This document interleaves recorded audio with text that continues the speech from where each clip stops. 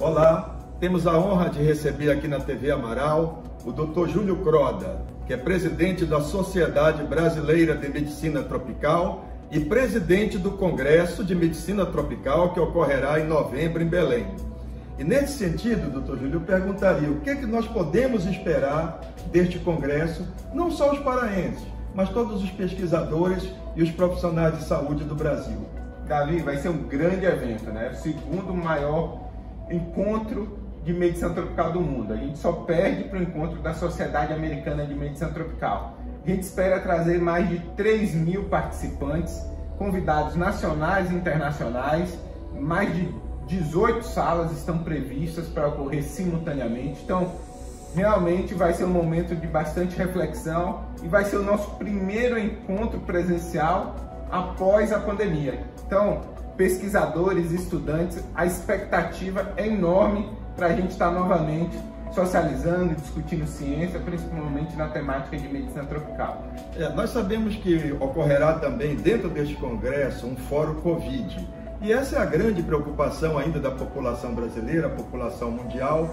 O que, que está havendo é, com esse aumento acentuado de novos é, testes positivos no Brasil inteiro? Então, a gente tem um, uma mutação muito frequente, né? E agora a gente tem subvariantes da Omicron, né? Que surgiu é, e chegou aqui pra gente em dezembro e janeiro. Então agora a gente está vivendo uma nova onda associada a BA5, em alguns países BA4, que apresenta poucas mutações, mas que essas mutações são responsáveis pelo escape de resposta imune.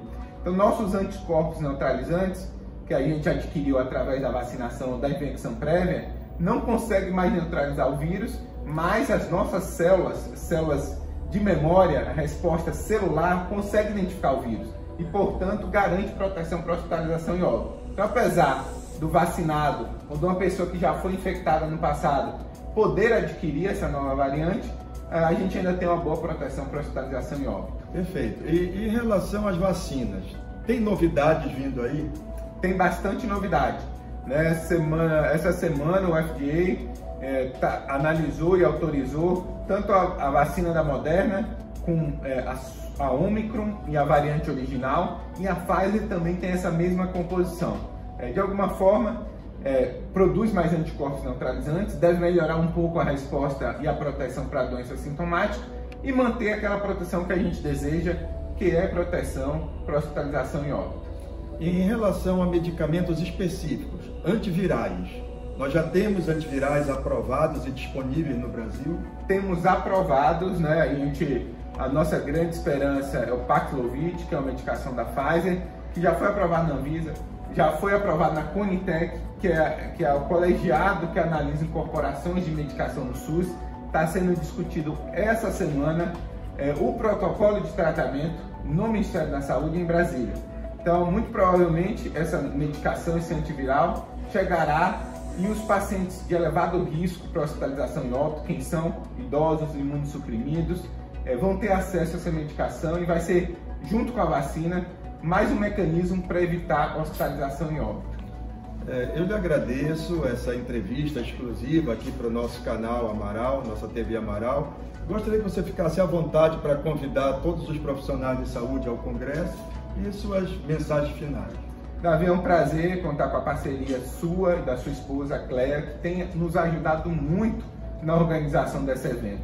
Esse, o MedTrop vai ser realizado no hangar no período de 13 a 16 de novembro. Vai contar com mais de 600 palestrantes nacional e também de fora do Brasil. E a gente espera, né? A gente espera que nos próximos dias, semanas e meses é, que é, a comunidade local, os alunos, profissionais de saúde possam fazer sua inscrição no site, no medtrop2022.com.br. Eu acho que é uma oportunidade ímpar para todo mundo da área de saúde. Esse é um congresso que não é exclusivo um congresso é, médico, né? Não é só médico que participa, é bom deixar claro.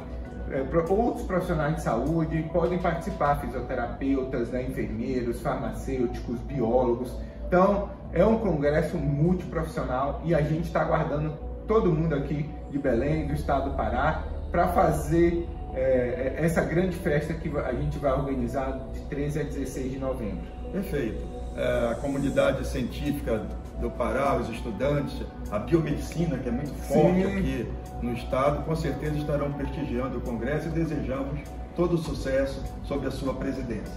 Prazer novamente e estou à disposição aí do, do pessoal de Belém, do, dos profissionais de saúde, para estar tá esclarecendo a respeito do nosso evento, que vai ser realizado entre 13 e 16 de novembro. Obrigado.